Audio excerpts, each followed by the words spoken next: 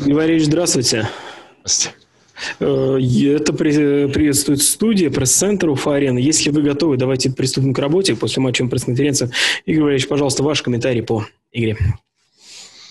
Ну, ребята хорошо сыграли, э, в принципе. Э, понимали там проблему Уфы, вот, дали своей молодежи сыграть сегодня. Они, в принципе, достойно воспользовались шансом. Все, готовимся. Серия продолжается, наша выездная. Э, коллеги, у кого будут вопросы? Игорь Валерьевич, добрый вечер. Вопрос от известий. Скажите, вы Александра Ширыченко не слишком нагружаете? Может быть, давать побольше играть бэкапу? Ну, мы считаем, что та нагрузка, которая сейчас у Александра есть, он может с ним справиться. Плюс первый вратарь должен играть много, а, качественно. А для того, чтобы этому научиться, нужна практика. Теоретических знаний недостаточно будет, поэтому только проходя через практику, а, он может понять, как, как это быть первым вратарем.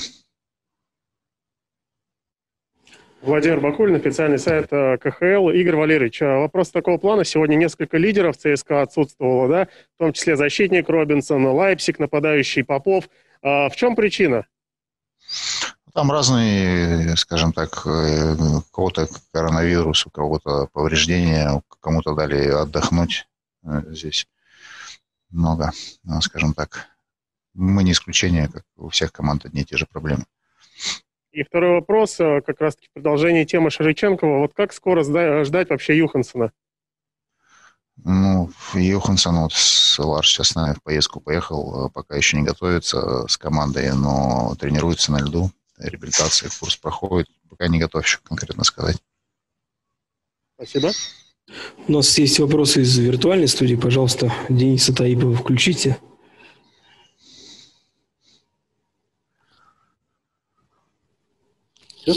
Здравствуйте, Денис Таипов, Горобзор.ру. А, семь матчей подряд не забивали в большинстве. Здесь основная причина в чем? В том, что психология или там что-то с технической точки зрения не получалось? Спасибо.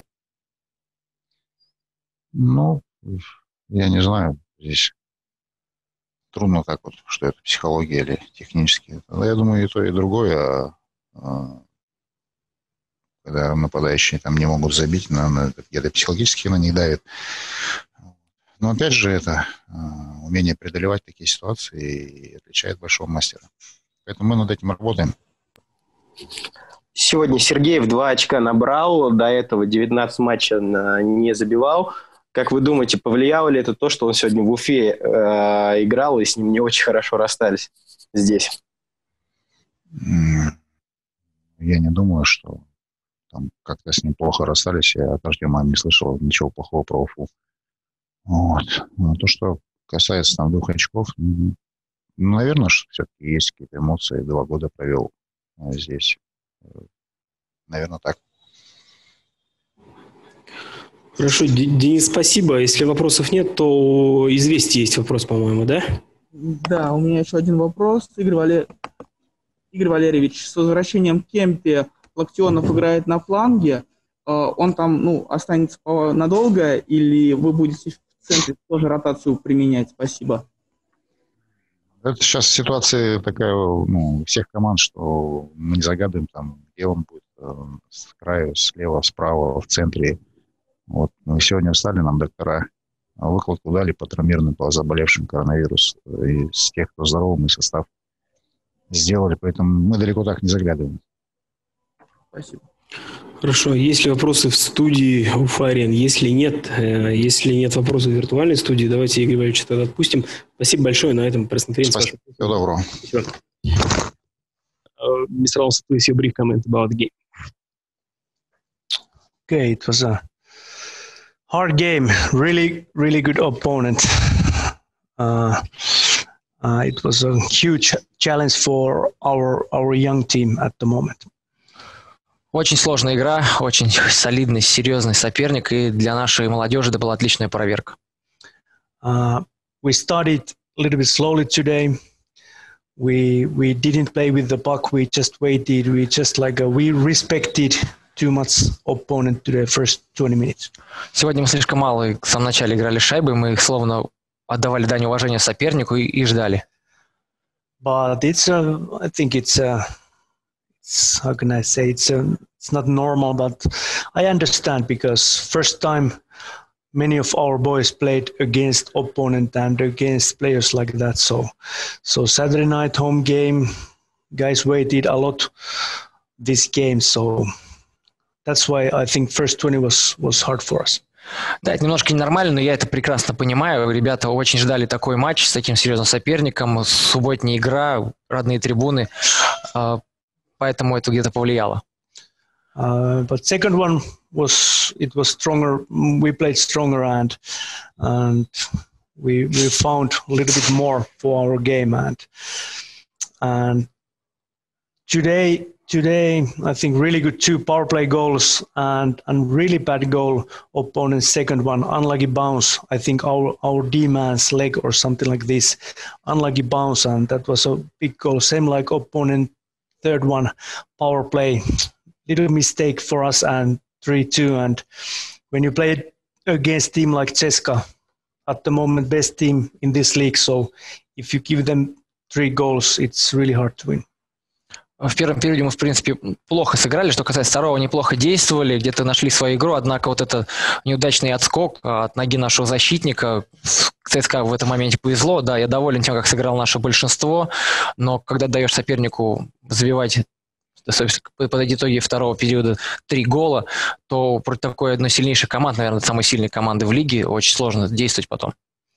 Uh, opponents, uh, opponent, they are really hard-working team, and it's really good to see how skillful guys they they work hard both ways. I mean, offense and defense, and they have a really really strong defense, and and it's so hard to get in and create scoring chances. And but again, we need to see big picture, what kind of lineup we have at the moment. And I think that was a really, really good lesson and good evening for our young boys. Now, now they know what does it mean to play play against top team and, and team like Ceska. So I think tomorrow we are again stronger. Uh, для наших, для наших молодых игроков, я думаю, что это была отличная проверка по, по, поиграть против такой команды, как ЦСКА. А что касается соперника, то у них а, не только мастеровитая линия атаки и защиты, но и также очень трудолюбивая, что стоит отметить. Поэтому было очень сложно создавать свои моменты. Поэтому мы обязательно сделаем выводы. Это хороший урок для нашей молодежи, для нашей команды а, сыграть с таким соперником. Спасибо, пожалуйста. Вопросы Владимир Бакулин. Владимир Бакулин, официальный сайт КХЛ. Томина, сегодня состоялось ваше возвращение да, после болезни. Насколько сложно вам было без хоккея, да, вот эти три недели, и как вы коммуницировали с командой?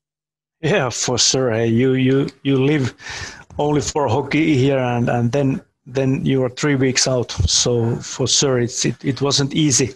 But of course, I, um, I I did a lot of work at home, and every morning we had a we had a zoom meeting with the coaches and afternoon we had a zoom meeting and evening we did some phone calls. And during the game i was i had all the time connection with the coaches locker room and also i had a connection to the bench. So um, I, I worked all the time but I, I did my work from home что касается того, скучал ли по хоккею, да, а, было очень непривычно, потому что целых три недели пропустил, а, особенно когда ты привыкаешь к этому ежегодичному ритму, что все время находишься с командой. Что касается коммуникации, то мы абсолютно всегда поддерживали Zoom-связь или созванивались с тренерами. Утром у нас были Zoom-конференции, вечером также, плюс время игр я всегда был на связи, делал, так скажем, домашнюю работу, всегда контролировал тренировочный процесс и игровой процесс. А, плюс во время игр у нас была связь, и всегда был доступ у меня и к тренерам, и к раздевалке. Пожалуйста. Алексей Горюнов, московский комсомолец. Э, Томину сегодня ЦСКА удавалось успешно создавать трафик перед воротами, и практически все шайбы, э, наверное, из этого и проистекают, дальние броски. Вратарь не видел момента э, броска практически ни, ни разу. Что с этим делать нужно? Что, какие меры будете предпринимать в связи с этим? Uh, that's why I think they are team number one in this league, and they have a guys they have a players who understand what does it mean nowadays if you want to score some goals and they are really good in that. Uh, of course we we prepare against every every team that we want to we want to clean up our net front. But but today opponent did better job for offense what we did for defense. So i think that's the big thing when we go further this season and and because goals like that they, it's going to be like a lot of goals during the playoffs team scoring like this. So for sure, sure we need to improve this part of the game Да, согласен, нам надо улучшать этот компонент игры, потому что если что касается плей-офф или вообще сезона, то очень много голов э, забивается в таком компоненте, когда игрок мешает голкиперу, экранирует его. А что касается игры ЦСКА, наверное, это одна из причин, почему это одна из лучших команд в лиге, потому что они отлично выполняют свою работу, и сегодня нападение ЦСКА действовало лучше, чем наша защита. У нас есть вопросы из виртуальной студии. Пожалуйста, э, Горобзор, да? А, здравствуйте, Денис Эйф, Горобзор.ру. А, ну, первый вопрос. Томин, как вы перенесли такую болезнь, как коронавирус? Было ли вам тяжело? Uh, I was pretty okay. First eight, nine days, I was, I was, my, my condition was a little bit worse. And a little bit temperature, a little bit like um, my chest was a little bit sore and, and things like that. But I think it was okay that So I was really, really like a tired all the time. So that's maybe the biggest thing. But at the moment, I think back, I'm back in business. А хорошо, что я уже сейчас вернулся. Что касается болезни, то первые 8-9 дней была небольшая температура, была усталость и плюс болела грудь, а так, в общем, спустя это время уже стало полегче, и я рад, что вернулся. А, четыре матча команды руководил Николай Целугин. Вы довольны тем, как он э, занял должность главного тренера в ваше отсутствие? Спасибо. Yeah, for sure. And yes, of course. And and like I said earlier, we had a meeting every morning, one hour meeting. Then we have a, a before lunch, one hour meeting. We had a every evening we spoke on the phone. So so we even I was at home. We we worked together like we work every day here. So there wasn't any difference. So the thing was only that you need to you need to put someone as a head coach. And first it was um, uh, Viktor Koslov, and after that it was uh, Nikolai Chuluk. Как и прежде, мы все работали вместе, дистанционно, все время были на связи, в принципе, ничего не поменялось. А что касается работы Николая Цулыгина, то, конечно же, доволен. Да и, в принципе, кто-то должен был быть главным тренером. Сначала это был э, исполняющим обязанности главного тренера. Сначала это был Виктор Козлов, потом Николай Цулыгин. Так что в этом плане а, ничего не, не поменялось. Главное, что мы всегда работали вместе, как привыкли. Пожалуйста, Азамат Шелуков. Добрый вечер. Азамат Шелуков, медиакарсеть. Вы несколько раз отметили статус ТСК как грозного соперника, но были уже дважды игры с Акбарсом, играли с Авангардом, Автомобилистом. Откуда тогда у игроков взялось, взялось такое излишнее, как вы сказали, уважение к сопернику? Не был ли Салават слишком осторожным сегодня? Если да, почему? Спасибо. Yeah, but if you if you saw those games, it was the same story. How we played against Akbaras, it's a good example. We we first first 20 minutes we were like spectators so it was exactly same story. And if this would be so easy that you take young boys from the junior team and they right away start playing against best teams same level like uh, best players we don't need to pay big money for the experienced guys. So it takes time and some of players it takes few months. Some of players take few seasons. So now this uh, timeline is really, really short, and and every day boys learning more and and they are stronger. А с каждым днем, в принципе, наши ребята становятся все лучше и лучше, но если бы... Да, с Акбарсом был хороший пример. Мы также как и сегодня, если вы смотрели игру, а, были словно наблюдатели первые 20 минут. Это как раз-таки есть та проблема. А что касается игроков, а, то если бы было так легко взять а, молодых игроков без опыта и поставить команду, они давали результат, нам не нужно было платить большие деньги за очень опытных хоккеистов. Поэтому в данном случае это сейчас то, что мы имеем, поэтому будем над этим работать. Спрашивали у Скрынника, видел ли он момент броска в случае пропущенных шайб? Это последний вопрос, спасибо. No, no.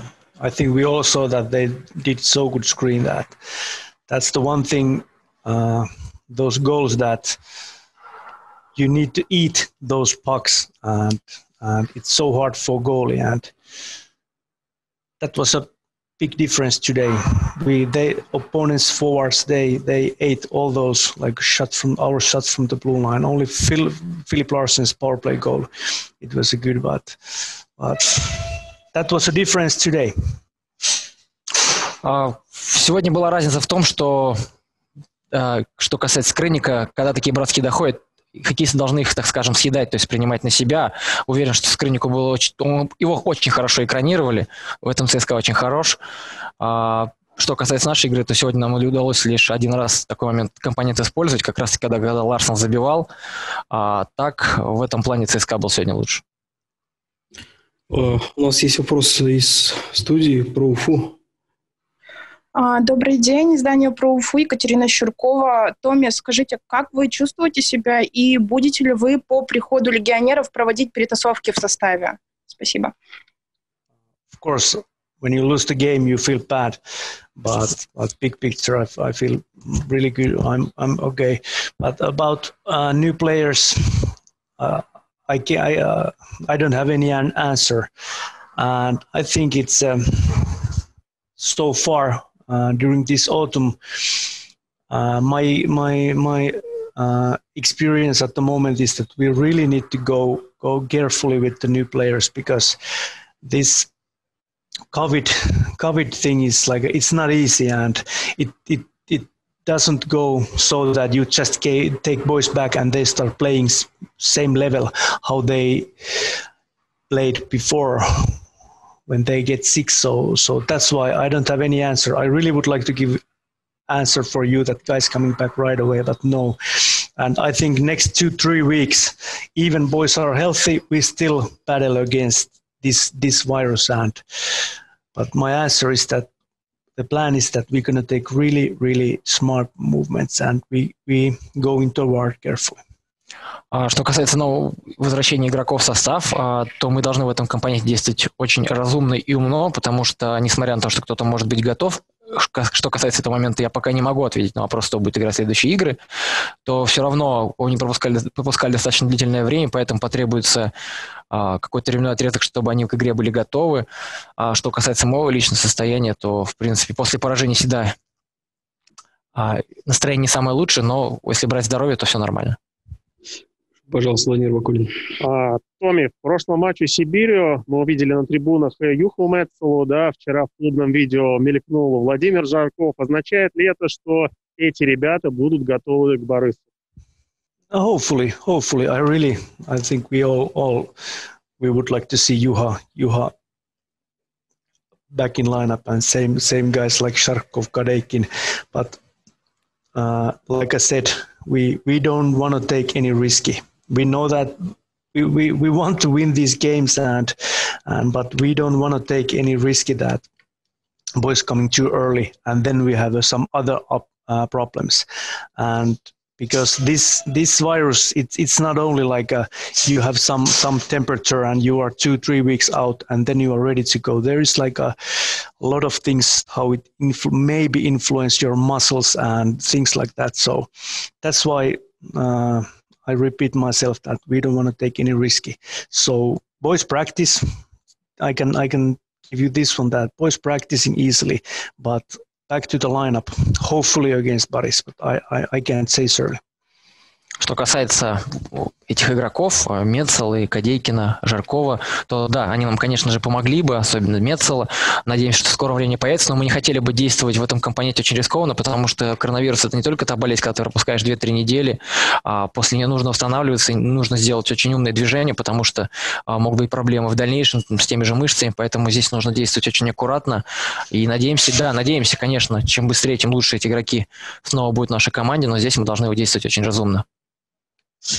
Спасибо. Нет ли больше вопросов? Если вопросов больше нет, то закончим. Uh, thank you very much, Mr. Lamson. That's it. That's it. Спасибо. До свидания.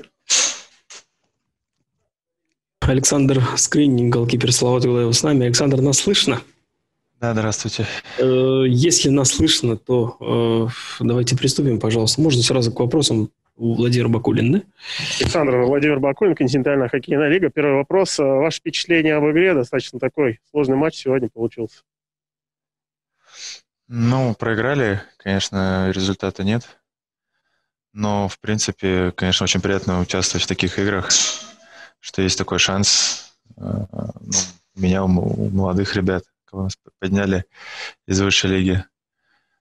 Поэтому бьемся, стараемся, выкладываемся по максимуму. Пытаемся использовать свой шанс.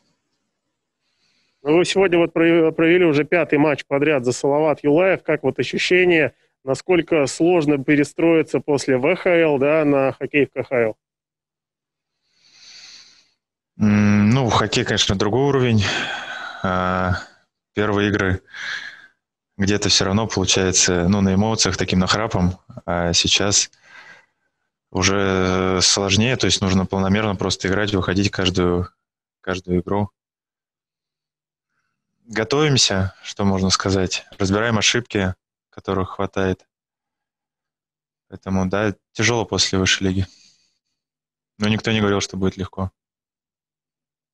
Алексей Горюнов, московский комсомолец. Александр, ну вот э, в прошлом матче с Севилью был дальний бросок, да, пропущенный сегодня. У ЦСКА почти все вот издалека залетело. Э, вы в первую очередь э, вините себя или все-таки защитников, которые трафик вам не чистят перед воротами? Ну, я себя в первую очередь спрашиваю. В принципе, вратарь может поймать все шайбы. Значит, нужно э, искать другие позиции, другие ракурсы, чтобы видеть эти шайбы, чтобы ловить их. Как бы, ну, в совокупности, конечно, приводит э, момент там, к взятию ворот. Но я в первую очередь себя спрашиваю. Ну, вот у нас, э, кроме Хюмецела, в последнем сезоне были достаточно молодые вратари, э, и психо, психо, психологии у них, ну, были проблемы психологические, вы же выглядите достаточно спокойным. Все-таки это то, что вы постарше их, или э, какие-то ну, личные, личный склад характера позволяет вам оставаться хладнокровным? Ну, здесь сложно сказать. Но если со стороны так выглядит, что я хладнокровно играю, это прекрасно. Я, э, внутри да тоже переживания есть. Ну, я не знаю, здесь сейчас я смотрю, коллеги, молодые вратари так хорошо играют, как будто они всю жизнь в КХЛ. Поэтому я с них уже беру пример. А вы говорите, что здесь в обратную сторону ситуация. Пожалуйста, еще Азамат Шелуков, Медиакурсеть.